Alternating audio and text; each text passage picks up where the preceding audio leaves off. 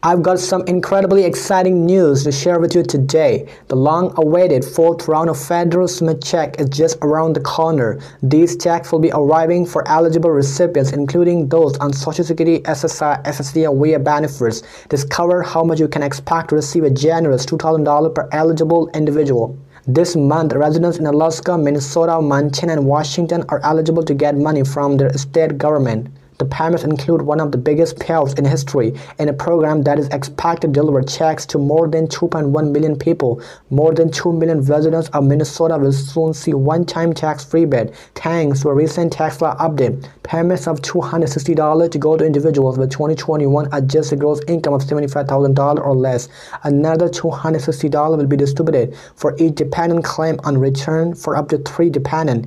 Montana is also still issuing funds that were allocated by state legislators this year. Property owners in the state are eligible for a rebate of $675 or an amount not to exceed the property taxes paid. Married couples filing jointly get either $2,500 or the line 20 amount.